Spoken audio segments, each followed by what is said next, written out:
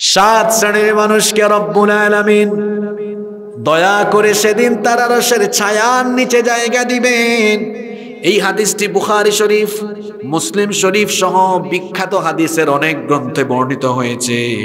হাদিস বর্ণনাকারী সাহাবির নাম হচ্ছে আবু আন তিনি বলছেন, রাসূল করিম সাল্লাল্লাহু আলাইহি ওয়াসাল্লাম বলেছেন সাবাতুন ইউযিল্লুহুমুল্লাহু ফি যিল্লিহি ইয়াওমা লা যিল্লা ইল্লা যিল্লুহ।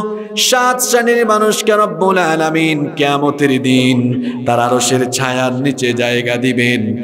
যেদিন আল্লাহর আরশের ছায়া ছাড়া আর কোনো ছায়া থাকবে? আর কোনো ছায়া থাকবে না। আসেন কোন সাত প্রকার মানুষ আমরা শুনে নেই? নাম্বার ওয়ান, এক নম্বর হলো ইমাম ন্যায় পরায়ণ শাসক ন্যায় পরায়ণ নেতা। যিনি মানুষের উপর অন্যায় করেন না, অবিচার করেন না। দুই নাম্বার হলো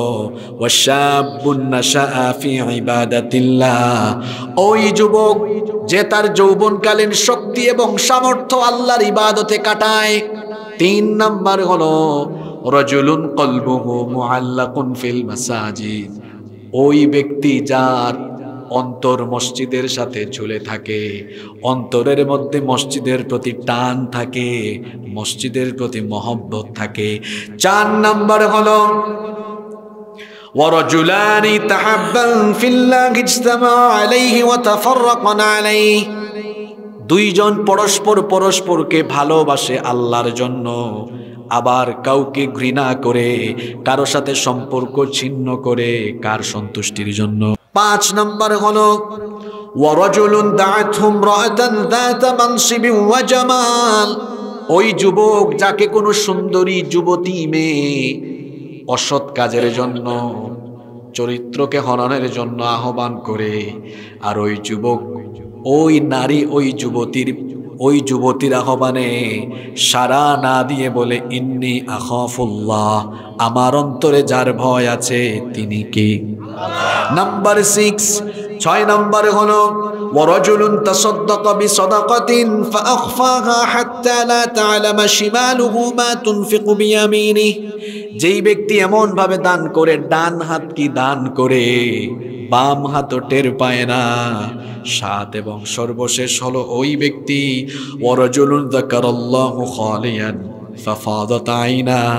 যেই ব্যক্তি একা হলে, মোবাইল হাতে নিয়ে পর্নোগ্রাফি দেখে না একা রুমে দরজা বন্ধ করে আজে বাজে কোনো চিন্তা করে না, গার্লফ্রেন্ডকে ফোন করে না আজে বাজে কাজ করে না। একা হয়ে গেলে কলিজাটা কেঁপে উঠে কার ভয়ে? আল্লাহর ভয়ে কেঁপে উঠে জাহান নামের ভয় অন্তরে ঢুকে যায়। আল্লাহ রাজাবের কথা মনে হয়ে যায়। আর একাকি নির্জনে মহান রবকে ভয় করে চোখের পানি ছাড়ে।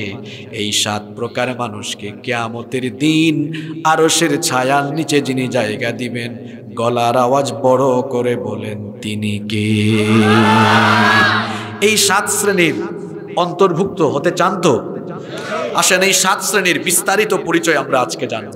আর সিদ্ধান্ত নিব, এই সাত কাতারের ভিতরেই আমরা থাকব। ইনশা নইলে কিয়ামতের মাঠে কিয়ামতের মাঠে বাঁচার উপায় আছে? আমরা কিয়ামতের মাঠে আল্লাহর দয়া চাইতো কারা কারা চান না, হাত তুলেন। আপনারা একটু সমস্যায় পড়ে গেছেন যে সব জায়গায় মাহফিলে শুধু ঠিক হুজুর আসে, ঠিক কিনা কন? আর যেটাই বলে পাবলিক হাত তুলে, এটা একটু বেঠিক হুজুর চলে আসছে, তাই না? একটু নেগেটিভ বলে। আসলে আমরা যখন পড়াশোনা করতাম, কিছু কিছু স্যারকে দেখেছি, কিছু কিছু হুজুর উস্তাজকে দেখেছি স্টুডেন্টদের কনসেন্ট্রেশন যাচাই করার জন্য মাঝে মাঝে নেগেটিভ কোয়েশ্চেন করতেন এতে করে বোঝা যায় যে কে কতটুকু মনোযোগ। আমি অনেক খুশি। আপনারা এত মনোযোগী আর এত নীরব, এত ভদ্র মানুষ আমি কোথাও দেখি নাই। আলহামদুলিল্লাহ। আমরা শেষ পর্যন্ত মনোযোগী থাকতে পারব তো? চলেন, আমরা এবার জেনে নেই। এক নাম্বার বলেছিলাম আল ইমামুল আদিল। ন্যায় পরায়ণ শাসক ন্যায় পরায়ণ নেতা, যিনি ন্যায় এবং ইনসাফ কায়েম করেন, অন্যায় করেন না, অবিচার করেন না। ন্যায় নীতি করা এটা কার বৈশিষ্ট্য? আমার আল্লাহ কারও উপরে অবিচার করেন না। এজন্য আল্লাহ কোরআনে বলেছেন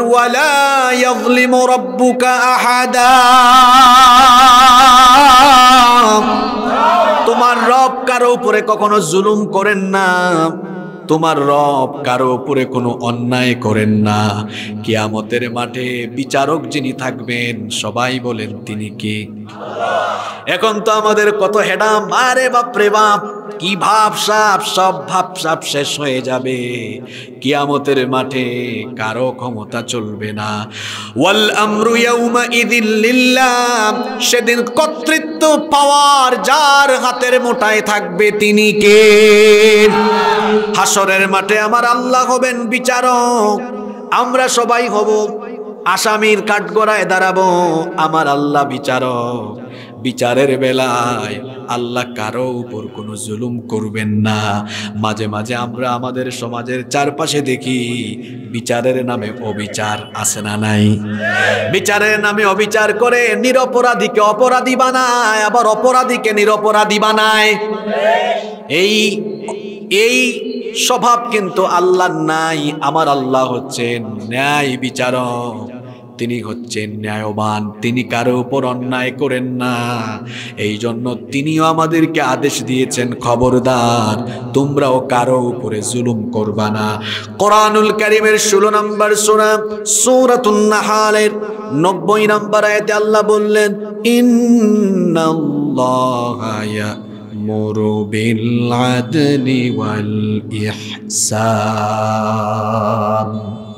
নিশ্চয়ই আল্লাহ তোমাদেরকে ন্যায় কায়েম করার, ইনসাফ কায়েম করার এবং সদাচারের আদেশ দিচ্ছেন। আবার কোরআনুল করিমের উনপঞ্চাশ নম্বর সুরা, সুরাতুল হুজুরাতের নয় নম্বর আয়াতের ইন্ডিং আল্লাহ বললেন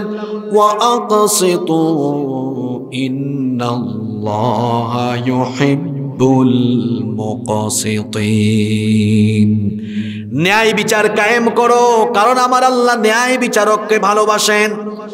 আল্লাহ তার হাবিবকে পৃথিবীর মানুষের জন্য ন্যায় বিচারের দৃষ্টান্ত বানিয়েছেন আল্লাহর হাবিব নবী এবং রাসূলের দায়িত্ব পালন করার পাশাপাশি রাষ্ট্র পরিচালনা করেছেন নাকি করেন নাই রাষ্ট্র পরিচালনায় ন্যায় নীতির দৃষ্টান্ত তিনি রেখেছেন কারণ আল্লাহ তার হাবিবকে বলেছেন وَإِذَا حَكَمْتُمْ بَيْنَ النَّاسِ فَاحْكُ أَن تَحْكُمُوا بِالْعَدْلِ إِنَّ اللَّهَ نِعِمَّا يَعِظُكُمْ بِهِ إِنَّ اللَّهَ كَانَ سَمِيعًا بَصِيرًا আল্লাহ তালা বলছেন আর আপনি যখন আমার হাবিব আপনি যখন মানুষের মধ্যে বিচার ফয়সালা করবেন তখন আপনি ন্যায় বিচার কায়েম করবেন ও বিচার করবেন না। আমার নবী কি কখনো কোনো মানুষের উপর বিচার করেছেন নাকি? একটা ঘটনা আমার মনে পড়ল, ঘটনাটা কি বলব? শোনেন, এই হাদিসটা বর্ণিত হয়েছে বুখারি শরীফে, মুসলিম শরীফে। মাখজুমিয়া গোত্রের কুরাইশে একজন নারী চুরি করে ধরা পড়ল। এখন ইসলামের বিচার, কোরআনের বিচার হলো চোর সে পুরুষ হোক কিংবা মহিলা হোক, প্রমাণ হয়ে গেলে চোরের হাত কেটে দাও। এই বিধান, এই আইনটা যার, তিনি, এই আইনটা যিনি দিয়েছেন, সবাই বলেন তিনি কে? আমরা যদি কোরআন দিয়ে চুরির বিচার করতাম, চ্যালেঞ্জ করে বললাম, এক বছরের ভেতরে বাংলাদেশের শেষরা সকল সুলতারের মতো সাইজ হয়ে যাবে। যেখানে কোরআনের বিচার নাই, সেখানে কোনো শৃঙ্খলা নাই। মিডল ইস্টের কিছু অ্যারাবিয়ান দেশ আছে, কিছু কিছু দেশ আমার সফরেরও সুযোগ হয়েছে। ওখানে একশো ভাগ কোরআনের আইন নাই, অল্প আছে five percent ten percent twenty thirty percent অল্প আইন থাকার কারণে সেই সকল দেশগুলোতে শান্তি কম না বেশি। অল্প আইনে যদি এত শান্তি পাওয়া যায়, পুরো কোরআনের আইন থাকলে শান্তি আসবে কম না বেশি। আল্লাহর নবীর আদালতে মাখজুমিয়া গোত্রের কুরাইশি নারী চুরি করে ধরা পড়ল। এবার সম্ভ্রান্ত বংশের নারী হওয়ার কারণে গোটা মদিনায় থমথমে অবস্থা বিরাজ করল। এটা বোঝানোর জন্য আপনাদেরকে একটা উদাহরণ দেই। এই যে আপনাদের আদা চাকি গ্রাম, আদা চাকি গ্রামের যদি সম্ভ্রান্ত কোনো পরিবারের কেউ চুরি করে, তাহলে বলেন তো এলাকার মধ্যে এটা নিয়ে আলোচনা হবে কম না বেশি। মাকজুমিয়া গোত্রের কুরাইশি নারী চুরি করল সাহাবিরা এবার। আলোচনা করছেন এত সম্ভ্রান্ত বংশের নারী। নবীজি যদি রায় দেওয়ার বেলায় কোরআন অনুযায়ী রায় দেন, ওই বংশের মানিজ্যত শেষ। তারা চিন্তা করলেন, নবীজির কাছে কেউ একজন সুপারিশ নিয়ে যাক। নবীজিকে একটু সুপারিশ করে দেখি মহিলার বেলায় একটু রায় কমায়া দেওয়া যায় কিনা। মনে করেন বড় নেতার ছেলে অপরাধ করেছি। তো নেতা, খেতা কিংবা তার আশেপাশের লোকেরা গিয়ে বলে শাস্তিটা একটু কমায়া দেন, আর কেউ যেন না শুনে এটার ব্যবস্থা করেন। এটা একটা উদাহরণ দিলাম। তো মহিলা সম্ভ্রান্ত বংশের হওয়ার কারণে সাহাবিরা পরামর্শ করছেন, কীভাবে রায়টা একটু কমায় আনা যায়? শাস্তি কমায় আনা যায়, কিন্তু কোন সাহাবি নবীজির কাছে এই সুপারিশ নিয়ে যাবেন? কারও সাহস হয় না। সাহাবিরা সবাই মিলে সিদ্ধান্ত নিলেন নবীজি উসামা ইবনু জাইদকে খুব ভালোবাসেন। তারা বললেন, উসামা, তুমি যাও, তুমি কথা বললে। তোমার প্রতি নবীজির মহব্বতের কারণে হয়তো তোমার কথা নবীজি রাখতে পারেন। ওসামা ইবনু জাইদ রাদিয়াল্লাহু সবার পরামর্শে তিনি নবীজির কাছে গেলেন। নবীজিকে গিয়ে বললেন, ইয়া রসুল আল্লাহ ইয়া হাবিব আল্লাহ সাল্লাল্লাহু আলাইহি ওয়াসাল্লাম, আমি এসেছি এই মহিলার শাস্তির বিধান হালকা করে দেওয়ার সুপারিশ নিয়ে। নবীজি বললেন, কেন? তারা বল, তিনি বললেন, এটা তো খুব সম্ভ্রান্ত বংশের মহিলা, বংশের কোনো মানিজ্যত থাকবে না। এই কথা শোনা মাত্রই আল্লাহর নবীর মাথায় যেন আসমান ভেঙে যাওয়ার উপক্রম হয়ে গেল। সঙ্গে সঙ্গে তিনি মসজিদে নববীর মিম্বরে আরোহণ করলেন। সাহাবিদের উদ্দেশ্যে ভাষণ দিলেন, বক্তব্য দিলেন। বক্তব্য দিতে গিয়ে বললেন, সাহাবিরা রে, এত বড় স্পর্ধা, এত বড় সাহস তোমাদের কীভাবে হলো? আল্লাহর কোরআনের বিচারের বিরুদ্ধে আঙ্গুল তোলার স্পর্ধা কীভাবে হলো? সাহাবিরা, শোনো এই মহিলা চুরি করে ধরা না পড়ে যদি আমার নিজের কলেজার টুকরামে ফাতেমা চুরি করে ধরা পড়তো, বিচারের রায় দিয়ে শাস্তি প্রয়োগের জন্য জল্লাদকে আদেশ দিতাম না। বরং রায় দেওয়ার পরে আমি বাপ হয়ে নিজেই আমার মেয়ের হাত আমি নিজেই কেটে ফেলতাম। আল্লাহ কোন নেতা পারবে তার? কর্মীর বিরুদ্ধে এমন অ্যাকশন নিতে বরং উল্টা আছে। নেতার চামচা চুরি করে ওসির কাছে ধরা। ফোন দিয়েছে, এই ওসি কারে ধরেছ? এটা আমার লোক, তাড়াতাড়ি ছাড়। সব কিছুতে স্বজন প্রীতি, দল প্রীতি দল কানামি এই জন্য ন্যায় বিচার নাই। যে সমাজে ন্যায় বিচার নাই, সেখানে চুরি বেড়ে যায়, ডাকাতি বেড়ে যায়। দুর্নীতি বেড়ে যায়, লুটপাট বেড়ে যায়, রাহাজানি বেড়ে যায়, নিরপরাধ মানুষ সেই সমাজের মধ্যে বেশি বেশি জেলে ঢুকে যায়। যেখানে সুবিচার থাকে না, ইনসাফ থাকে না, সেই সমাজে কোরআন, হাদিস পড়া, গবেষণা করা আলেমরা জেলখানায় থাকে আর চোর বাটপাররা বুক ফুলিয়ে জেলখানার বাহিরে থাকে। আল্লাহ নবী বলেছেন, সাত শ্রেণির মানুষকে রব্বুল আলামিন কেয়ামতের দিন আরশের ছায়ার নিচে জায়গা দিবেন। এর মধ্যে এক নম্বর হলো আল ইমামুল্লাহ আদিল। যারা মানুষের উপরে ন্যায় বিচার করবে এখন ন্যায় বিচার শুধু সমাজ আর রাষ্ট্রের দায়িত্বশীল হলে করতে হবে, বাকিরা করবে না। বিষয়টা এমন নয়, আপনার পরিবারেও আপনি ন্যায় বিচার আপনার ঠিক রাখতে হবে। ন্যায় পরায়ণ হতে হবে, বলবেন, হুজুর, পরিবারে আমি ন্যায় পরায়ণ কেমনে হব? মনে করেন আপনারা চার পাঁচ ভাই বোন তো এক ভাই সম্পদ বেশি নিলেন আর আরেক ভাইকে ঠকায় দিলেন। এটা কি ন্যায় হলো নাকি? অবশ্য এই ধরনের ঠকাঠকি আমাদের সিরাজগঞ্জে নাই। স্বামী স্ত্রীর উপর জুলুম করে, তার মানে ওই স্বামী নীতিবান স্বামী নয়।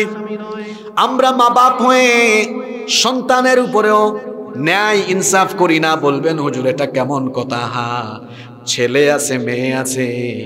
দেখা যায় খাবার খেতে বসলে ছেলেটাকে মাছের মাথা আর মেয়েটাকে মাছের লেজ দেয়। এই যে ছেলে আর মেয়ের মধ্যে ফারাক করল, বৈষম্য করল, এটাকে ইনসাফ করল নাকি? তার মানে ওই পিতা জালিম, ওই মা জালিম নবীজির তো একটা ছেলেও ছিল না, সব মেয়ে ছিল, ছেলেগুলো মারা গিয়েছে। অনেকে আছে মেয়ে হলে কপালটা কুচকে যায়। অথচ নবীজি বলেছেন, মেয়ে সন্তান হলো, কন্যা সন্তান হলো বরকতের প্রতীক। আল্লাহ নবী বললেন, যার ঘরে তিনটা মেয়ে আছে, সে যার ঘরে তিনটা মেয়ে আছে, সে আমার সাথে জান্নাতে যাবে। লালন পালন করে দিন শিখাইয়া সৎপাত্র করলে জান্নাতে যাবে। দুই মেয়ের বেলায় একই কথা বললেন, কিন্তু কোনো ছেলের বেলায় কি এমন হাদিস আছে নাকি? তো মেয়ে সন্তানকে কেন লেজ খাওয়ান? মেয়েটাকে মাছের মাথা খাওয়ান। মেয়েদেরকে মহব্বত করবেন। বেশিরভাগ বাবা মেয়েকে সম্পদ থেকে বঞ্চিত করে আপনাদের এলাকায় কি বলেন? বিঘা কানি কাঠা কি বলেন আপনারা? বিঘা। বিশ বিঘা জমি আছে চার ছেলে দুই মেয়ে চার ছেলেকে চার পাঁচা বিশ পাঁচ বিঘা করে ভাগ করে দেয়। আর মেয়েগুলোকে এক বিঘাও দেয় না। বিয়ের সময় বলে আম্মা যান আব্বা তোমাকে কোনো সম্পদ দেই নাই আব্বা তোমাকে দোয়া দিলাম। আজকে মহিলা প্যান্ডেলে আমার বোনেরা আছেন, সরাসরি বলবেন, আব্বা, আপনার দোয়া লাগবে না, জিনিস দেন।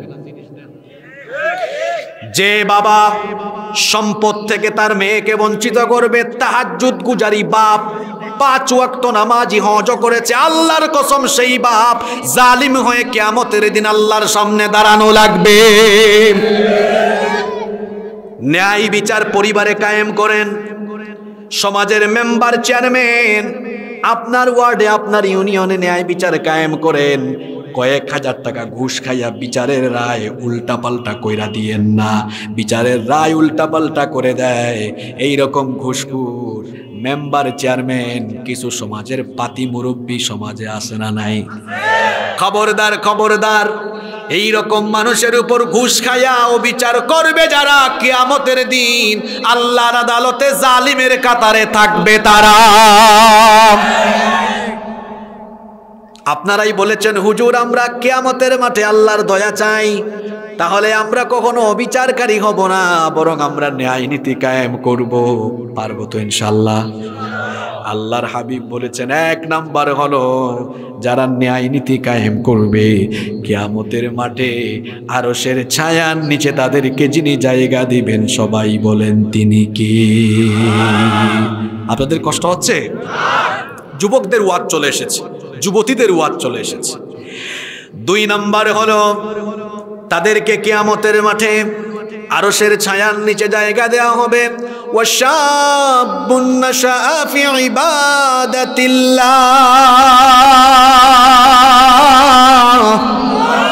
ওই যুবক, যে যুবক তার যৌবনের প্রত্যেকটা মুহূর্ত আল্লাহর ইবাদতে কাটায়।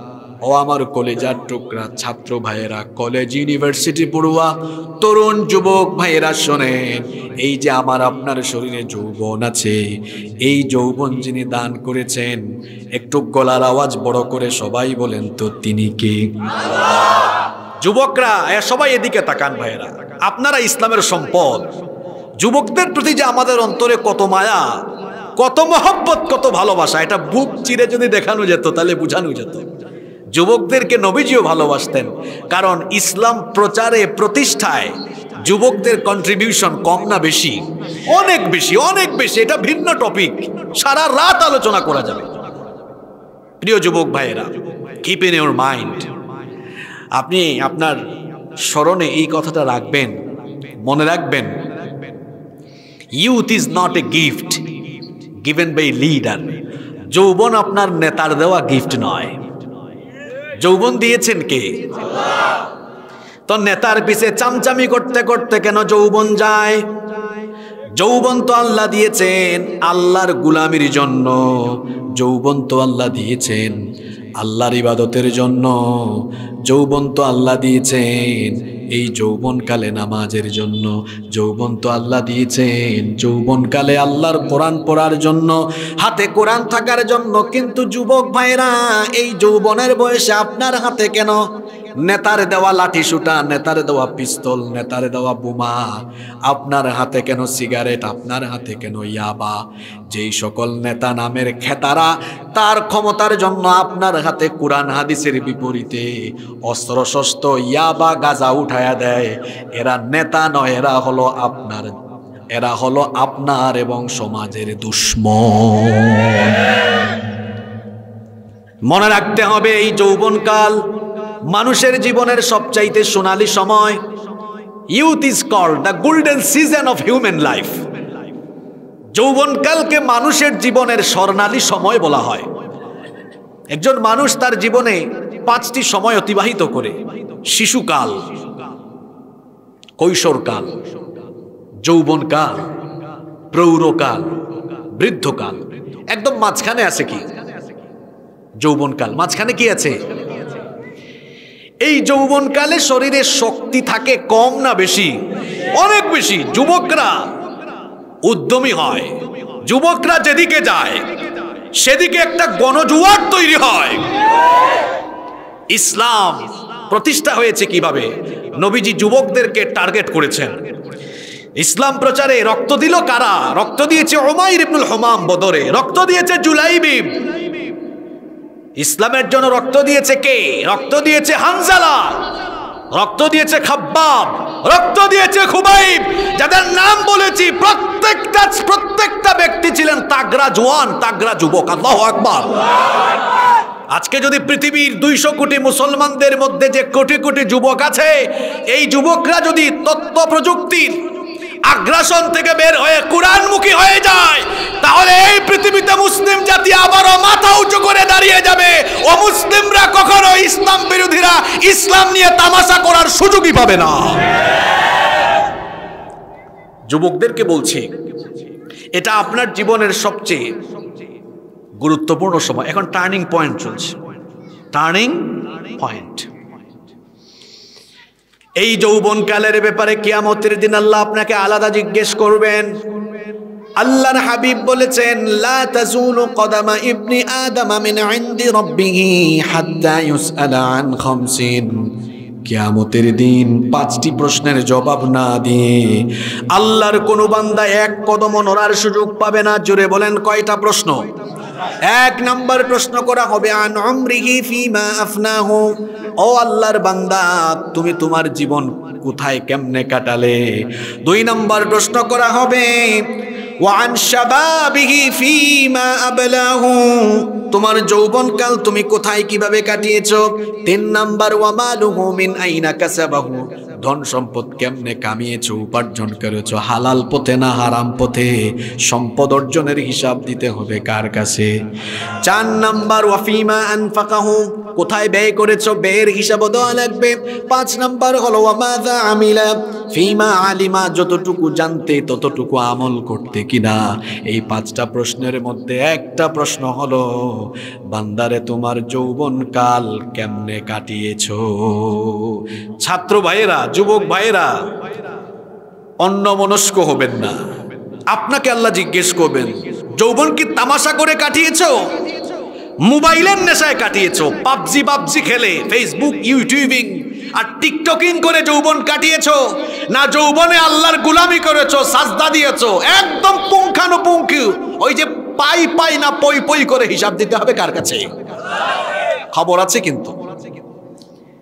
এই যৌবন চলে গেলে আপনি আর ফিরে পাবেন? এই যে আমার বাবাজানরা, এরা আমার বাবার বয়সী, তারা একসময় আমাদের মতো জোয়ান ছিলেন না? ছিলেন, এখন আর সেটা ফিরে পাবেন? Nobody wants to lose youth time কেউ যৌবন হারাতে চায় না।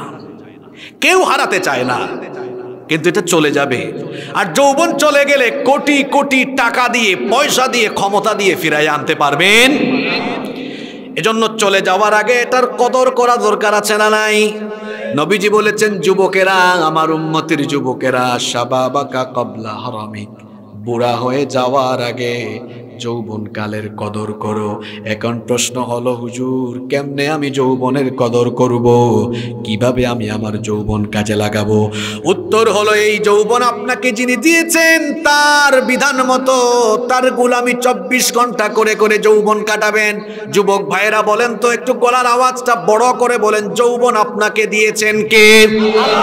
তো আল্লাহর দেওয়া যৌবন তো আল্লাহর পথেই দেওয়া দরকার। ফজরের আজান হলো, সঙ্গে সঙ্গে মসজিদে চলে যান।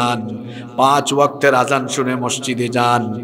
যৌবনকালীন সময়ে আল্লাহর ইবাদত করেন। কোরআন যারা পারেন না কোরআন শিখেন। নেতা খেতাদের সামনে পিছে হেঁটে ছাত্র বয়সে কেরিয়ার নষ্ট করবেন না। মাদকাসক্ত হয়ে যাবেন না। যৌবনকালীন বয়সে পড়াশোনার পাশাপাশি নিজের চরিত্র সুন্দর বানান, হাতের মধ্যে পিস্তল নয়। যে সকল ছেলেরা পেলে আপনাকে দাওয়াত দেয়, কোরআনের দাওয়াত। সামনে পেলেই বলে, ভাই, এই যে কোরআনটা পড়ো, কোরআন নাও। আসো, তুমি কোরআন পারো না, আমি তোমাকে কোরআনটা শিখাই। তুমি কোরআন পারো না, আসো, তোমার অর্থ সহ একটু কোরআনটা বুঝাই। আলেমদের কাছে যাবেন, আলেমদেরকে ভালোবাসবেন। আলেমদের কাছে যাবেন, হুজুর, আমি যুবক মানুষ, কিছু আমল আমারে শিখায়া দেন। আমি কীভাবে চলবো, আমার কি করা দরকার? কেমনে চলা দরকার? সৎ সঙ্গে স্বর্গবাস, অসৎ সঙ্গে যুবক ভাইরা খবরদার। যাদের সাথে চলবেন, বুঝে শুনে চলবেন। আপনি যদি ভালো মানুষের সাথে থাকেন, তো ভালো হবেন। আর যদি ইয়াবাখুর, গাজাখুর চোর বাটপারের সাথে থাকেন, তো চুরি বাটপারের অভ্যাস আপনার ভেতরেও আসার সম্ভাবনা আছে না নাই? ভালো মানুষের সাথে থাকবেন, এভাবে যৌবনকাল ভালো পথে, দিনের পথে কাটাবেন। এই রকম করে যে যুবকরা তাদের যৌবনকাল আল্লাহর ইবাদতে কাটাবে, ওই যুবকদেরকে কেয়ামতের দিন আরসের ছায়ার নিচে যিনি জায়গা দিবেন, গলার আওয়াজ বড় করে বলেন, তিনি কি? আপনাদেরকে কষ্ট হয়ে যাচ্ছে বেশি? এই তো বাকিগুলো আস্তে আস্তে বলছি। তিন নম্বর হলো, রজুলুন কলবুহু মুআল্লাকুন ফিল মাসাজিদ। ওই ব্যক্তি যার অন্তরের সাথে মসজিদ ঝুলে থাকে। অর্থাৎ মসজিদের প্রতি যার আন্তরিকতা থাকে। আজান হলেই মসজিদে দৌড়ায়, আজান হলেই মসজিদে দৌড়ায়। ফজরের আজান হয়েছে নামাজে গিয়েছে। নামাজ থেকে বের হয়ে কাজে মনোযোগী দিয়েছে, কাজে মনোযোগী হয়েছে, কিন্তু অপেক্ষায় আছে কখন জোহর হবে, আবার আমি মসজিদে যাব। আল্লাহ আকবার! এই রকম পাঁচ ওয়াক্ত নামাজের জন্য, মসজিদে যাওয়ার জন্য। যার মনটা উতলা থাকে, এই ব্যক্তিদের উপর কেয়ামতের মাঠে রহম যিনি করবেন, সবাই বলেন, তিনি কি? কিন্তু মনে বড় আফসোস, মনে বড় দুঃখ, আমার দেশে মসজিদ বেশি না মুসল্লি বেশি? আমি এখানে আসার আগে দারুস সালাম জামে মসজিদ ভিজিট করে এসেছি, আপনাদের গ্রামের মসজিদ। এত রুচিশীল মানুষ আপনারা, মসজিদে না গেলে জানতাম না। আমাকে হামিদ ভাই, হাসান ভাই নিয়ে গিয়েছেন। গ্রামের মধ্যে এত সুন্দর মসজিদ হচ্ছে, আপনারা খুশি না বেজার? আলহামদুলিল্লাহ পড়েন। আমি খুব আনন্দিত হয়েছি। এরকম মসজিদ সচরাচর আমরা শহরাঞ্চলেও দেখি না। সুন্দর সিস্টেম। আপনার হাজত থাকলে, আপনার হাজত থাকলে মসজিদের উপরে ওঠার প্রয়োজন নেই। ওনারা নিচে ব্যবস্থা করে দিয়েছেন। গোসলখানা আছে, অজুখানা আছে। উপরের তলায় অজুখানা সহ নামাজের কি সুন্দর ব্যবস্থা। ডিজাইনটাও খুব চমৎকার হয়েছে। আমি খুব খুশি হয়েছি। নিচে আবার মাদ্রাসা করেছেন। আবার অন্যদিকে ব্যাংকিং ব্যবস্থাপনায় যেন সুদের সাথে আপনারা জড়িত হয়ে না যান। হাসান ভাই এখানে গ্লোবাল ইসলামী ব্যাংকের শাখা নিয়ে এসেছেন। আমরাও সব সময় বলি যে ব্যাংকিং লেনদেনটা যেন আমরা যে কোনো ইসলামী ব্যাংকে করি। কারণ ইসলামী ব্যাংকগুলো শরিয়া সুপারভাইজারি বোর্ড দ্বারা পরিচালিত হয়। সেখানে ইসলামী অর্থনীতিতে বিশেষজ্ঞ ওলামা মাসায়িকদের তত্ত্বাবধানে এই ব্যাংকগুলো পরিচালিত হয়। আপনাদের এলাকায় মসজিদের নিচে একটা ইসলামী ব্যাংকের এজেন্ট শাখাও হচ্ছে, আলহামদুলিল্লাহ। আপনাদের জন্য লেনদেন আরও সুবিধা হলো। এই যে এত সুযোগ সুবিধা আমরা পেলাম, কি সুন্দর মসজিদ হচ্ছে। এই মসজিদ যেন হাহাকার না করে মুসল্লির অভাবে। মসজিদ সুন্দর হলো, কিন্তু এলাকার এই মুসল্লি যদি সুন্দর না হয়, তাহলে তো মসজিদ আফসোস করবে, হাহাকার করবে। আল্লাহ নবীও ভবিষ্যৎবাণী করেছেন, এর আওতাভুক্ত যেন সিরাজগঞ্জের বেলকুচির আদাচাকি এলাকার মানুষ না হয়। নবীজি বলেছেন, কেয়ামতের আগে, আখিরি জামানায়। মাসাজিদ হুম আমিরা। চাকচিক্যময় মসজিদ হবে, সুন্দর মসজিদ হবে। কিন্তু ওয়াহিয়া খরাব মিনাল হুদা, মসজিদগুলো হেদায়াত শূন্য হবে, মসজিদ হবে সুন্দর, মুসল্লি হবে অসুন্দর। এই গ্রামের মানুষ, এই এলাকার মানুষ যেন আমরা এমন না হই। আমাদের মসজিদও হচ্ছে সুন্দর, আলহামদুলিল্লাহ।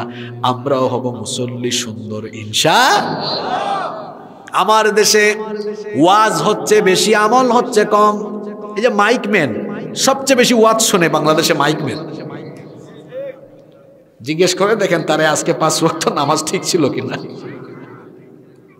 মাইকম্যান ভাই, রাগ করো না আবার। এটা একটা কথা বললাম, মাঝখানে মাঝে মাঝে ফান না করলে তো হয় না। এই কথা বললাম, এমনও হতে পারে সে আজকে থেকে নামাজ ধরে ফেলতেও, তবে অনেক মাইকম্যান আমি দেখেছি। দাড়িওয়ালা, নামাজি। এরকম আছে না নাই? আল্লাহ আমার এই মাইকম্যান ভাই, সবগুলারে নামাজি বানায় দেন। বলে না আমিন। ওয়াজ বারোটা একটা পর্যন্ত হইল। আর ফজরের নামাজে যদি আমরা না আসতে পারি, তাহলে এই ওয়াজ শুনে কি ফায়দা হবে? আমার দেশে ওয়াজ মাহফিলে মানুষ বেশি, কিন্তু যে এলাকায় ওয়াজ মাহফিল, ওই এলাকার মসজিদে এশান নামাজে মানুষ পাওয়া যায় না। যে এলাকায় ওয়াজ মাহফিল হয়, কমিটির সবাই ক্লান্ত হয়ে যায়। ওই দিন ফজরের নামাজে কমিটির বেশিরভাগ লোককে পাওয়া যায় না। রাগ করতেছেন আমার কথায়? আমরা যেন এমন না হই। আমরা হব পাক্কা মুসল্লি। আমাদের মসজিদগুলো এখন পাকা, কিন্তু মুসল্লি বড় কাঁচা। আর নবীজির সময়ে মসজিদ ছিল কাঁচা, মুসল্লি ছিল পাকা। আমাদের মসজিদগুলোর ছাদ কত সুন্দর, পাকা মসজিদ। কিন্তু আল্লাহর নবীর মসজিদের ছাদ খেজুর পাতার ছাউনি দিয়েছিল। আল্লাহ নবীর মসজিদের পিলারগুলো ছিল খেজুরের ডালের। আমাদের মসজিদে এত সুন্দর সুন্দর টাইলস ঢাকা শহরে গেলে দেখবেন কত জাতের টাইলস যে মানুষ লাগিয়েছে। কত ডিজাইনের, কত দামি দামি ব্র্যান্ডের টাইলস মানুষ লাগিয়েছে। আবার মসজিদের মধ্যে দামি দামি কার্পেটিং করা। আল্লাহর নবীর মসজিদ, মসজিদে নববী, ওই মসজিদে কোনো টাইলস ছিল না, ওই মসজিদে কোনো দামি কার্পেট ছিল না। ফ্লোরটা ছিল মরুভূমির বালু। মাটি যখন সাজদা দিতেন, আল্লাহর হাবিবের কপাল মুবারকে, মুবারক কপালে মুবারক নাকে বালু লেগে যেত। মাটি লেগে যেত, যখন অল্প একটি বৃষ্টি হতো, কাদা হয়ে যেত। তাদের কপালে, তাদের নাকে, হাতে, পায়ে কাদা লেগে যেত। তখনকার মসজিদটা ছিল কাঁচা, কিন্তু মুসল্লি ছিল এখন আমাদের মসজিদ হয়ে গেছে, সবগুলা পাকা আর মুসল্লি হয়ে গেছে। ডাকতে ডাকতে মসজিদে আনা যায় না। যুবককে যদি বলেন, ভাই, নামাজে আসো। কই হুজুর, আমি জোয়ান মানুষ, বুড়া হই, চুল পাকুক, দাড়ি পাকুক, তারপর নামাজে আসব। আমার যুবক ভাইরা আপনারা যে বুড়া হবেন, এর কি কোনো নিশ্চয়তা আছে নাকি? আমার পাশের বাসার ছেলে, আঠারো বছর বয়স, এই তো কয়েকদিন আগে মারা গিয়েছে। ছেলেটা, আমি গ্রামের বাড়িতে গেলে তার বাইক দিয়ে অনেক জায়গায় আমাকে ঘোরাতো। হঠাৎ মারা গিয়েছে। মরণের কি কোনো সিরিয়াল আছে? মরণের তো সিরিয়াল নাই। পৃথিবীতে প্রথম এসেছেন আদম আলাইহিসালাম ওনার ছেলেদের নাম জানেন আপনারা? হাবিল কাবিল। কাবিল মেরে ফেলেছে কাকে? হাবিলকে। আদম আলাইসাল্লাম দুনিয়ায় জীবিত থাকা অবস্থায় তার ছেলে হাবিল মারা গিয়েছে। তাহলে বাপ আগে আসছে, যাওয়ার বেলায় আগে কে চলে গেছে? সিরিয়াল ঠিক থেকেছে? যুবক ভাইয়েরা there is no serial of death মৃত্যুর কোন সিরিয়াল? মাঝে মাঝে দেখবেন সিরাজগঞ্জের বিভিন্ন এলাকায় দাদা বেঁচে আছে, নানা বেঁচে আছে। দাদা কিংবা নানা নাতি নাতনির লাশ কবরে নামায়। বাপ বেঁচে আছে বাপের কাঁধে সন্তানের লাশ, বাবা ছেলেকে কবরে নামায়। এই রকম দৃশ্য আমাদের সমাজে আছে না নাই? এজন্য যুবক ভাইয়েরা, খবরদার, বুড়া হবেন, এটা হলো শয়তানের ধোকা। খবরদার যুবক ভাইয়েরা, এটা নামাজের বয়স। কই হুজুর, সকাল আটটা পর্যন্ত না ঘুমাইলে তো চেহারার স্মার্টনেস থাকে না। ফজরের নামাজ যে ছেড়ে দেয়, তার চেহারার কোনো সৌন্দর্য থাকে না। ফজরের নামাজ যারা আদায় করে তাদের চেহারায় নূর দিয়ে দেন যিনি তিনি কি? অনেক ছেলেরা, অনেক মেয়েরা পার্লারে যায়। পার্লারে গিয়ে ফেসিয়াল করে হাজার হাজার টাকার মেকআপ নেয়, চেহারা সুন্দর করার জন্য। আর নামাজিদের কোনো মেকআপ লাগে না। নামাজিদের মেকআপ হলো অজু। নামাজিরা যখন অজু করে আর আল্লাহকে সাজেদা দেয় ফেসিয়াল লাগে না, নামাজিদের কোনো মেকআপও লাগে না। তাদের চেহারায় যিনি স্পেশাল নূর দিয়ে দেন তিনি কে? যুবক ভাইদেরকে বলব, খবরদার ভাইয়েরা নামাজ ছাড়বেন না। নামাজ ছাড়বেন না, আর এই নামাজটা একা একা পড়া যাবে না। নামাজ আদায় করতে হবে মসজিদে গিয়ে জামাতের সাথে। মসজিদগুলোর সাথে যাদের সম্পর্ক থাকবে রজুলুম কলবুহু মুআল্লাকুন ফিল মাসাজিদ। মসজিদের সাথে যাদের সম্পর্ক থাকবে, তাদেরকে কিয়ামতের মাঠে আল্লাহর আরসের ছায়ার নিচে যিনি জায়গা দিয়ে দিবেন, সবাই বলেন, তিনি কি? Number four. চার নাম্বার, ওয়ারজুলানি তাহাব্বান ফিল্লাহ ইজতামা আলাইহি ওয়া তাফাররাকনা আলাইহি। ওই ব্যক্তি যে কাউকে ভালোবাসে আল্লাহর সন্তুষ্টির জন্য, আবার কাউকে ঘৃণা করে আল্লাহর সন্তুষ্টির জন্য। আল্লাহর হাবিব বলেছেন, মান আহাব্বালিল্লাহ ওয়া আবগাদানিল্লাহ وأعطى لله ومنع لله فقد استكمل الإيمان আবু দাউদ শরীফের হাদিস নবীজি বলেছেন যে ব্যক্তি কাউকে ভালোবাসবে আল্লাহর জন্য কাউকে ঘৃণা করবে আল্লাহর জন্য দান করবে আল্লাহর জন্য দান থেকে বিরত থাকবে আল্লাহর জন্য ওই ব্যক্তির ইমানটা পূর্ণ হয়ে যাবে আমরা কাউকে ভালোবাসবো কার সন্তুষ্টির জন্য কার সন্তুষ্টির জন্য একজন আলেম কিংবা একজন আল্লাহওয়ালা মানুষ বা একজন দিনদার ভাই, একজন দিনদার বোন, তিনি যদি দিনের পথে চলেন, তার সাথে আমার সম্পর্ক থাকবে। এই সম্পর্কটা হবে কেবলমাত্র কার সন্তুষ্টির জন্য? আমাদের ভালোবাসা সবই যেন হয় মহান রবের জন্য। রাগ ক্ষোভ ঘৃণা গোলো তাও যেন হয় শুধু প্রভু তোমারই জন্য। ভালোবাসি, বাসি ভালো, ভালোবাসি প্রভু তোমাকে। ইয়া হাবিবি, ইয়া রাসূলুল্লাহ, হৃদয়ে গেথেছি তোমাকে।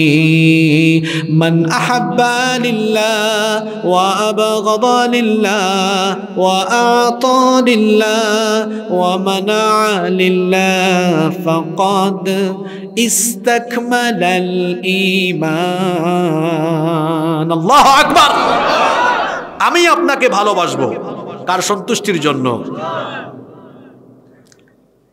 অবিবাহিত ব্যাচেলর ছেলেরা এখানে আছে না বিয়ে করো না এমন মিসকিন আছে এখানে মিসকিন বলে তোমরা রাগ করো না মিসকিন আরবি শব্দ এটার অর্থ হলো নিঃস্ব তো যার কেউ নাই তার বউ নাই সে নিঃস্ব না তো ব্যাচেলার এখনও।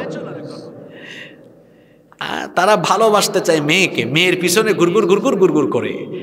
একটা মেয়ের পিছনে ঘুরঘুর করা থেকে বিরত থাকব কার সন্তুষ্টির জন্য? নিজের বিবিকে ভালোবাসবো কার সন্তুষ্টির জন্য? খবরদার হারামে কোনো আরাম। ভালোবাসা হবে সব বিয়ের পরে। বিয়ের আগে বিয়ের আগে বেগানা কোনো মেয়ের সাথে ভালোবাসা আদান প্রদান নয়। বিয়ের পরে বিবির সাথে যত মন চায় প্রেম, ভালোবাসা বিনিময় করেন। কোনো অসুবিধা নাই, তখন দাম্পত্য জীবনে যিনি বরকত দিয়ে দিবেন তিনি কে? ভালোবাসবেন কাউকে আল্লাহর জন্য। আবার ফতোয়া অন্যদিকে নিয়ে যাইয়েন না। হুজুর, ঠিক আছে, আমি একটা মেয়েকে বিয়ে করার উদ্দেশ্যে ভালোবাসলাম আল্লাহর সন্তুষ্টির জন্য। তো কেউ যদি কই হুজুর, মদ আমি খাচ্ছি, কিন্তু বিসমিল্লা বলে খাচ্ছি। ওই বিসমিল্লা বলে খাইলে যেমন মদ হালাল হয়ে যায় না, ঠিক তেমনি বিয়ে করার উদ্দেশ্য। কারও কোনো বেগানা নারীর সাথে কথা বলা কিংবা কোনো অবৈধ রিলেশন রাখাও যাবে না। আমার দেশে কিছু তক্তা বক্তা বের হইছে। বিশ, তিরিশ, চল্লিশ মিনিট যুবকদেরকে এগুলা শিখায়, যে চলে যাও, চলে যেতে দাও। এটা, সেটা শেখায়। কোরআন হাদিস পড়ে যুবকদেরকে কোরআন হাদিসের দিকে ধাবিত করো। এই বয়সে যুবকরা মেয়ের পিছনে ঘুরঘুরার মেয়ে নিয়ে কেন চিন্তা করবে? যেই জামানায় কোরআন এসেছে, ওই জামানায় এই বয়সের যুবকরা দিনের জন্য রক্ত দেওয়ার, জীবন দেওয়ার প্রত্যয় গ্রহণ করেছে। এই যুবকরা এই সময়ে ভালোবাসা দিবে আল্লাহকে, আল্লাহ রসুলকে দিবে। এজন্য আমার জাতীয় কবি খুব সুন্দর লিখেছেন আল্লাহকে যে পাইতে চায়, হাজরতকে ভালোবেসে আল্লাহকে যে পাইতে চায়, হাজরতকে ভালোবেসে আরশ কুরসি, লৌহ কলম না চাহিতে পেয়েছে সে। আল্লাহ আকবর। আমার ভালোবাসা, আমার ভালোবাসার সবটুকু জুড়ে আছেন মুহাম্মদ সাল্লাল্লাহু আলাইহি ওয়াসাল্লাম। একজন মুমিন সবচেয়ে বেশি ভালোবাসবে আল্লাহকে, এরপরে আল্লাহর রসুলকে। ভালোবাসার মাপকাঠি এই রকম হবে ঠিক কিনা বলেন? আবার আমি কাউকে ঘৃণা করব, কাউকে অপছন্দ করব, সেটাও কার সন্তুষ্টির জন্য? কোরআন বিরোধীকে আমি অপছন্দ করব কোরআনের রাজ কায়েমে যারা বাধা দেয়, আলেমদের উপরে যারা জুলুম চালায়, আলেমদের উপরে যারা নির্যাতন চালায়, ইসলামের বিরুদ্ধাচারণ যারা করে, অন্যায় অপরাধের সাথে সংশ্লিষ্ট যারা, তাদের সাথে আমার কোনো সম্পর্ক থাকবে না, তাদের সাথে আমার কোনো দহরম মহরম থাকবে না, কারণ আমি কোরআন বিরোধী, ইসলাম বিরোধীদের সাথে সম্পর্ক ত্যাগ করব কার সন্তুষ্টির জন্য? আমার দেশে কিছু পদ পদলেহনকারী বের হয়েছে। সামান্য পদের জন্য, পয়সার জন্য, ফাসিকদের প্রশংসায় মেতে উঠে। ফাসিকদের পা চাটে। এজন্য আমরাও বলি, যে আলেম নামক ভণ্ডের গলা দিয়ে ফাসিকের পয়সা ঢুকে, ওই গলা দিয়ে কোনোদিন হক কথা বের হবে না। যার গলা দিয়ে হারাম পয়সা ঢুকে না, সেই সকল লোকেরা, সেই সকল লোকেরা বুলেটের সামনে দাঁড়িয়েও হক কথা বলতে কখনো তার বুক কেঁপে উঠবে না। কারণ তার অন্তরে একজনের ভয়, তিনি কে? আমরা একজনকে ভয় করি, একজন ছাড়া আর কাউকে ভয় পাই না, তিনি কে? আল্লাহ, তুমি আমাদের অন্তরে তোমার ভয়কে আরও মজবুত করে দাও। পাঁচ নাম্বারে বললাম সরি চার নাম্বারে বললাম, কাউকে ভালোবাসবো, আবার কারও সাথে সম্পর্ক ছিন্ন করব। কার সন্তুষ্টির জন্য? কষ্ট হচ্ছে না? পাঁচ নাম্বার হলো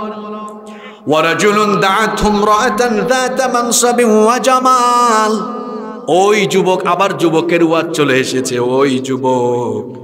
যে যুবককে সুন্দরী মেয়ে প্রপোজ করলে, সুন্দরী মেয়ে যদি প্রপোজ করে, ওই যুবক তখন সুন্দরীর সৌন্দর্য দেখে না, ওই যুবক তখন সুন্দরীর ওই প্রপোজকে অ্যাকসেপ্ট করে না রিজেক্ট করে দেয় আর রিপ্লাই করে, ইন্নি আখাফুল্লাহ, আমি যাকে ভয় করি তিনি কি? যুবকরা, তোমরা পারবা এটা? তোমাদের ইনশাল্লাহ আবার ছোট হয়ে গেছে। তোমাদেরকে যদি কোনো মেয়ে প্রপোজ করে লিখে আই লাভ ইউ তোমরা তো বলে ফেলবা আই লাভ ইউ টু হুম? দেখেন হাদিস থেকে শোনাচ্ছি। হ্যাঁ? দাআতহুম রাআতান ওয়ারাজুলুন দাআতহুম রাআতান যাতা মানসিব ওয়া জামাল। সুন্দরী কোন নারী তাকে আহ্বান করলে, সে ওই নারীর আবেদনকে রিজেক্ট করে আর বলে, আমি আল্লাহকে ভয় করি, আল্লাহু আকবার। তুমি আর কি জাতের সুন্দর যুবক? তোমার কি সৌন্দর্য? শোনো, পৃথিবীর সবচেয়ে সুন্দর যুবকের কথা বলছি। এই দুনিয়ার অর্ধেক সৌন্দর্য আল্লাহ দিয়েছেন সেই সেইদিনা ইউসুফ নবীকে। যাকে দেখলে চোখ ফিরানো যেত না, তার নামে কোরআনে কারিমে একটা সুরাও যিনি দিয়েছেন। সবাই বলেন, তিনি কে? ইউসুফ নবীর চেহারা এত সুন্দর ছিল, এত সুন্দর চেহারা ছিল মিশরের সেই যুগের সুন্দরী সুন্দরী সকল যুবতী মেয়েরা ইউসুফ সালামকে দেখে ফল কাটতে গিয়ে নিজেদের আঙ্গুল কেটে ফেলেছে, টেরও পায় নাই। আল্লাহ আকবার। মানে চেহারার দিকে তাকানোর পরে অনুভূতি শক্তি চলে গিয়েছে ফিলিংলেস অনুভূতি নাই, ফল হাতে ছিল, ফল কাটতে গিয়ে ফলে ছুরি চালায় নাই, আঙ্গুল কেটে ফেলেছে, টেরও পায় নাই। আল্লাহ আকবার। বলছিলাম, যুবক, তোমার চেহারা আর কি সুন্দর?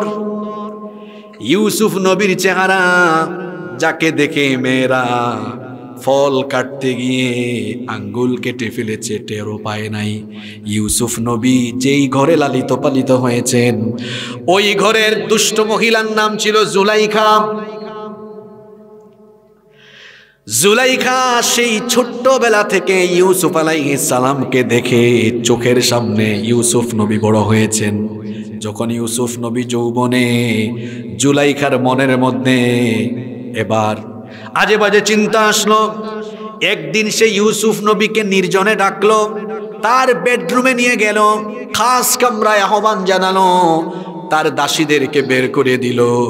সাতটা দরজা ছিল, সবগুলো দরজা লক করে দিল। ইউসুফ নবীকে বলল, এখানে তুমি আর আমি আছি, আর কেউ নাই। আর ইউসুফ নবী মনে মনে ভাবছেন, কে বলেছে কেউ নাই? যেখানে কেউ নাই, সেখানেও একজন আছেন তিনি কে?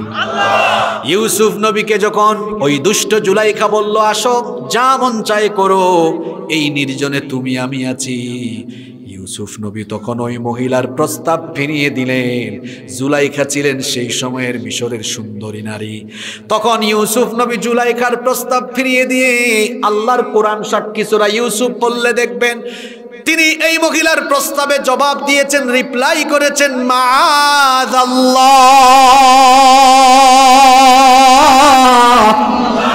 তিনি বলেছেন আমি তোমার এই প্রতারণা থেকে, তোমার এই ষড়যন্ত্র থেকে আশ্রয় চাই যার কাছে তিনি কে? দেখলেন এই মহিলা এমন জায়গায় নিয়ে এসেছে, সব দরজায় তালা লাগিয়ে দিয়েছে। বের হওয়ারও কোনো সুযোগ রাখে নাই, কিন্তু তার ভেতরে তো আল্লাহর ভয়। এই জন্য তিনি আল্লাহর উপর ভরসা করে এই মহিলার ষড়যন্ত্র থেকে রেহাই পাওয়ার জন্য তালাবদ্ধ লক করা দরজার দিকে তিনি যখন দৌড় মারলেন, আল্লাহ তার নবী ইউসুফ সালামের উপরে এত খুশি হয়ে গেলেন। খুশি হয়ে আল্লাহ তালা সাতটা দরজার সবগুলো দরজার তালা আল্লাহ তার কুদরত দিয়ে খুলে দিলে আমার যুবক ভাইদেরকে বলব, চরিত্র বানাও ইউসুফ নবীর মতো। এখন তো কিছু যুবক এত বাজে চরিত্র হয়েছে, রাস্তায় যদি সকালবেলা দাঁড়ায়া থাকে, তিন চারটা মেয়ে কলেজে যায়, এক দুস্থ আরেক দুস্থরে কয়, এক দুস্থ আরেক দুস্থকে কয়, দুস্থ কি দেখলাম, মাথা তো ঠিক নাই। কি আছে? কি ভদ্র ছেলে পেলে স্বীকার করেছে? কেন মাথা ঠিক থাকবে না? ও যুবক ভাইয়েরা, অন্তরে আল্লাহর ভয় পয়দা করো। কেন একটা মেয়েকে ডিস্টার্ব করো? মেয়েটাকে ডিস্টার্ব করার আগে কি মাথায় আসে না? আমার ঘরে যে মা আছেন, আমার মাও তো একজন নারী। যে মেয়েটার দিকে আমি বাজে দৃষ্টিতে থাকা, তাকাই, ওই মেয়েটাও একজন নারী। সুতরাং মা নারীর জাতি, আমি কেন ওই নারীর জাতিকে অসম্মান করব? কেন তাকে ইফটিজিং করব? কেন তাকে টিজ করব? এই বয়সটা মেয়েদের পিছনে ঘুরঘুর করার বয়স নয়। ছাত্র যুবকদেরকে বলছি, অবিবাহিত ছেলেদেরকে বলছি, এই সময়ে পড়াশোনায় মন দাও, পড়াশোনায় মন দিয়ে নিজের কেরিয়ার সুন্দর করো, আর নামাজ আদায় করে দিনদার হও। বোনদেরকেও সেম কথা বলব। এই সময়ে কেরিয়ার এবং চরিত্র ঠিক করেন। যুবক ভাইয়েরা শোনেন কেরিয়ার এবং চরিত্র যদি সুন্দর করতে পারেন, আপনি কেন মেয়ের পিছে ঘুরবেন? দেখবেন কেরিয়ার আর চরিত্র সুন্দর হলে হাজার হাজার সুন্দরী মেয়ের বাপ মেয়ে বিয়ে দেওয়ার জন্য লাইন ধরে দাঁড়ায়া থাকবে। নিজে সিদ্ধান্ত নেন, আপনি কি অসভ্য ছেলের মতো। মেয়ের পিছনে ঘুরঘুর করবেন, নাকি নিজেকে এমন পর্যায়ে নিয়ে যাবেন যাতে করে মানুষ আপনার পিছনে ঘুরে? সিদ্ধান্ত আপনি নেন। কষ্ট হচ্ছে? পাঁচটা বলে ফেলেছি, আমি শেষ পর্যায়ে আসছি। নাম্বার সিক্স, ছয় নাম্বার হলো, ওয়ারাজুলুন তাসাদ্দাকা বিসাদাকাতিন ফাআখফাহা হাত্তা মা তুনফিকু বিয়ামিনি। ওই ব্যক্তি যে ব্যক্তির ডান হাত কি দান করে, তার বাম হাতও টের পায় না। আল্লাহু আকবার! প্রকাশ্যে দান করায় কোনো অসুবিধা নাই, কোনো গুণা নাই, কোনো অসুবিধা নাই। কিন্তু প্রকাশ্য দানের চাইতে গোপন দানের সওয়াব অনেক। এরকম বহু মানুষ আছে, মানুষকে জানায় না। লক্ষ লক্ষ টাকা অভাবী মানুষকে দিয়ে দেয়। চুপি চুপি মসজিদ বানায়া দেয়, অজুখানা বানায়া দেয়। চুপি চুপি মাদ্রাসার এতিমখানার এতিম খাওয়ায় চুপি চুপি মাদ্রাসার একটা বিল্ডিং উঠায় দেয়। চুপি চুপি দান করে, চুপি চুপি মসজিদের কয়েক হাজার টাইলস দিয়ে দেয়। চুপি চুপি কয়েক হাজার ইট দিয়ে দেয়। আল্লাহর হাবিব বলেছেন, চুপি চুপি গোপনে গোপনে গোপনে গোপনে দান সৎকা করবে যারা। কিয়ামতের দিন আল্লাহর আরশের ছায়ার নিচে জায়গা পাবে তারা। আরও আসতে বলেন সুবাহান আল্লাহ নাম্বার সেভেন সাত এবং সর্বশেষ হলো ورجل ذكر الله خاليا ففاضت عيناه ওই ব্যক্তি যে ব্যক্তি একাকী হয়ে গেলে নীরবে নির্জনে নিভৃতে আল্লাহর কথা স্মরণ করে আর আল্লাহর জাহান নামের ভয়ে চক্ষু থেকে পানি ঝরায় চোখের পানির অনেক দাম। অনেক যুবকেরা আজকে এখানে এসেছেন। বহু গুণা করেছেন, বহু পাপ করেছেন। ও আমার ভাইয়েরা, আজকের মাহফিল হয়ে যাবে আপনার জীবনের মোড় ঘুরিয়ে দেওয়ার জন্য।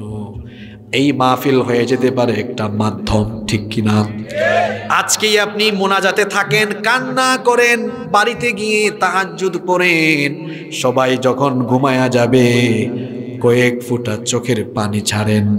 আমার বোনদেরকেও, মাদেরকেও একই কথা বলব, আমার বাবাদেরকেও একই কথা বলব। যখন আপনারা একা থাকবেন, একটু একাকী হয়ে গেলে চক্ষু বন্ধ করলে দেখবেন অতীত জীবনের অনেক গুনার কথা মনে পড়বে। অতীত জীবনের অনেক পাপের কথা মনে আসবে। যখন চক্ষু বন্ধ করে অতীত জীবনের পাপের কথা অতীত জীবনের গোনার কথা মনে করবেন, তখন একটু দিলটাকে নরম করে দেন। দিল নরম করে চোখের পানি ছেড়ে দেন।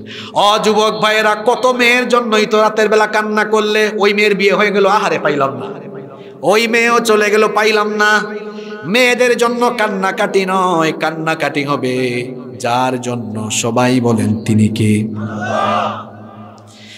দুইটা ফুটা। আল্লাহ বড় ভালোবাসেন, জুড়ে বলেন কয়টা ফুটা? একটা হলো, কত্রতু দামুন তুহরাকু ফি সাবিলিল্লাহ। আল্লাহর জমিনে আল্লাহর দিন প্রতিষ্ঠায়, যে মুজাহিদ তার শরীর থেকে রক্ত ঝরিয়ে দেয়, ওই রক্তের ফুটা আল্লাহ ভালোবাসেন, ওই রক্তের ফুটা আল্লাহ পছন্দ করেন।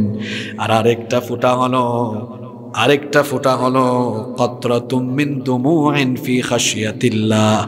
আল্লাহর ভয়ে, আল্লাহর আজাবের ভয়ে যেই চক্ষু থেকে পানি ঝরে, ওই চোখের পানি যিনি ভালোবাসেন তিনি কি? আল্লাহর হাবিব বলেছেন, যে মানুষের চক্ষু থেকে আল্লাহর ভয়ে চোখের পানি পড়ে, ওই চক্ষুকে কখনো জাহান্নামের আগুন গ্রাস করতে পারবেন আল্লাহ আকবার! কাঁদেন কাঁদেন। আল্লাহর আজাবের ভয়ে কাঁদেন গুনাহের জন্য, পাপের জন্য। দিলটাকে নরম করে চোখের পানি ছেড়ে দেন। আমাদের যখন কাপড় ময়লা হয়, কাপড় ময়লা হয়ে যাওয়ার পরে আমরা কাপড় কি করি? ওয়াশ করি, পরিষ্কার করি, ডিটারজেন্ট দিয়ে, সার্ফ এক্সেল দিয়ে, সাবান দিয়ে, কাপড় ধৌত করলে যেমন ময়লা কাপড় সাফ হয়ে যায়। এই যে আমাদের জীবনে গুনাহের এত দাগ লাগল, পাপের এত দাগ লাগল, গুনাহের দাগ, পাপের দাগ আমরা কীভাবে ছুটাবো? গুনাহের দাগ, পাপের দাগ ছুটানোর জন্য ডিটারজেন্ট দিয়ে হবে না, সার্ফ এক্সেল দিয়ে হবে না, সাবান দিয়ে হবে না। নিজেকে গুণামুক্ত করতে হলে, গুনাহের দাগ ছুটায় দিতে হলে চোখের পানি লাগবে। চোখের পানি ছেড়ে যদি যুবক ভাইয়েরা, রাত বারোটা একটা দুইটার সময় গার্লফ্রেন্ডের সাথে কথা বলো না। রাত দুইটা, তিনটায় জেগে উঠো তাহাজ্জুদের যায় না মাঝে দাঁড়ায়া যাও। ওই সময় আল্লাহ ডাকতে থাকেন, কে আছে? কে আছে আমাকে ডাকবে? আমার সাথে প্রেম বিনিময় করবে, ডাকো আমাকে। আমি জবাব দিব, কে আছে? গুনাহ মাফ চাইবে আমাকে, বলো, আমি তার গুনাহ মাফ করে দিব। সুবাহান আল্লাহ ওই সময় চোখের পানি ছাড়েন মা বোনদেরকেও বলছি চোখের পানি ছাড়েন, আল্লাহর ভয়ে কান্নাকাটি করেন। আল্লাহর হাবিব বলেছেন, নীরবে নিবৃতে একাকী যে ব্যক্তি আল্লাহর ভয়ে চোখের পানি ছাড়ে, ওই ব্যক্তিকে কিয়ামতের দিন তার আরশের ছায়ার নিচে যিনি জায়গা দিবেন, তিনি কে? এই মোট কয় প্রকার বললাম? জোরে বলেন, কয় প্রকার? আমি দেখি তো সিরাজগঞ্জের মানুষের মেমোরাইজিং ক্যাপাসিটি কেমন? গতকাল আমি পাবনায় ছিলাম। দেখলাম পাবনার মানুষ, তারা তো এখন রাষ্ট্রপতিও পেয়ে গেছে। তো পাবনার মানুষ দেখলাম মেমোরাইজিং ক্যাপাসিটি ভালো। যে পয়েন্টগুলো বলেছি, অন্য টপিকে আলোচনা ছিল, বলে ফেলছে। আমার বিশ্বাস আজকে আপনারাও পারবেন। না পারলে আমি সহযোগিতা করব। সাত শ্রেণির মানুষ আরসের ছায়ার নিচে জায়গা পাবে। এক নাম্বার বলেছিলাম কি? মাশা আল্লাহ ন্যায় বিচারক, ন্যায়পরায়ণ ব্যক্তি, ন্যায়পরায়ণ শাসক। দুই নাম্বার কি বলেছিলাম? হ্যাঁ মাশাল্লাহ যে যুবক তার যৌবনকাল আল্লাহর ইবাদতে কাটায়। যুবক ভাইয়েরা, যৌবন দিব কার পথে? জুড়ে কার পথে? কারা কারা যৌবন আল্লাহর পথে দিবেন, হাত তুলে দেখান। একাকী, নীরবে, নিভৃতে চোখের পানি ছাড়বো কার ভয়ে? আল্লাহ, তুমি আমাদের সবাইকে, আজকের আপনাদের প্রশংসা না করে পারছি না। হামিদ ভাই, আপনার এলাকার মানুষ এত ভদ্রতার সাথে শোনে। আসলে এটা এখানে আলোচনা না করলে বুঝতাম না। আমি প্রথম ভাবছি, প্রথমে বেশিরভাগ চাচারা ছিলেন। ভাবছি মনে হয় জিমাই ঝিমাই শুনবেন কিন্তু আমি যেটা দেখেছি, যুবকদের চাইতে আমার চাচাদের এনার্জি আরও বেশি। অনেক খুশি হয়েছে। আপনি খেয়াল করছেন কিনা? সাতটা পয়েন্ট বলে ফেলেছে তারা। আল্লাহ, তুমি আমাদের সবাইকে এই সাত কাতারে সামিল করে দাও এই মসজিদের জন্য আমার প্রাণ ভরা দোয়া রইল। আমাকে হাসান ভাই, হামিদ ভাই মসজিদ দেখিয়েছেন, বলেছেন যে কিছুদিনের মধ্যে মসজিদ উদ্বোধন হবে। এই মসজিদের আমরা মুসল্লি হব। ইনশা মসজিদ যেন আমাদের ওভাবে কান্নাকাটি না করে, আহাজারি না করে। আমরা যুবক, তরুণ, ছাত্র সমাজ, ছোট, বড় সবাই মিলে আনন্দের সাথে, উৎসাহ, উদ্দীপনার সাথে মসজিদে নামাজের মুসল্লি থাকব। ইনশা আল্লাহ।